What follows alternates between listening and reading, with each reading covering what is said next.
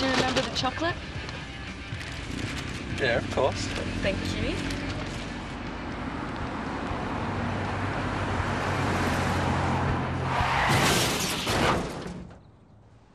Do you have any idea what happens to you in a crash when you're not wearing a seatbelt, even at as little as 50 kilometres an hour?